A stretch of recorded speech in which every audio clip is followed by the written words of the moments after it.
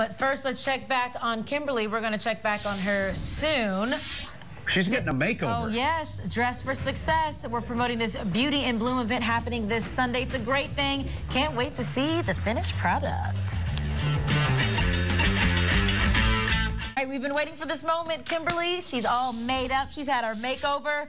So this is what she looked like at 8.45. When we come back from the break, we're going to show you Kimberly, Dress for Success. Okay, I'm so excited about this. I just got a sneak peek of Kimberly. So we introduced you to Kimberly Torres about a little bit earlier.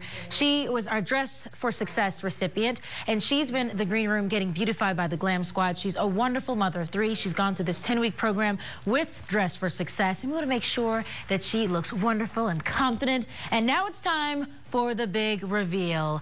Are you ready? And here she is, Kimberly. Oh my goodness. You look fabulous. How do you feel? Wonderful. Wonderful. Oh my gosh. Okay, turn around. Let's take a look at this. Oh, hold up. Okay. Wonderful. I love this. Okay, so we have our glam squad here. So please, you are hair. Yes, I'm Jennifer Zwilly from Wildly Hair Lounge. Okay, makeup. I'm Monica Virga Cosmetics from Philadelphia. Okay. and I'm Randi Edelman from Saks Fifth Avenue. Okay, so let's start with the hair. Now, Kimberly, you told me when I first met you, you said my hair used to be like really long and now it's been cut. So what made you decide to do a shorter cut here? Yeah, so on Monday she came in and Kim's hair was about 10 inches longer than what it is. Right. But I just wanted to lift it up so you could actually see her face. Mm -hmm. She was Mm-hmm. so overpowered and I just gave her an amber glaze to bring out her green eyes because her natural color is beautiful to start. But do, do you like the hair, Kimberly? I love the hair. Yeah? so mm. ponytails will be a little bit shorter, but it looks so good. Thank you. Okay, so let's talk makeup. Well, I did the makeup uh, natural just to pop up the green eyes. So I use my cosmetic uh, um, uh, liner mm -hmm. by my own.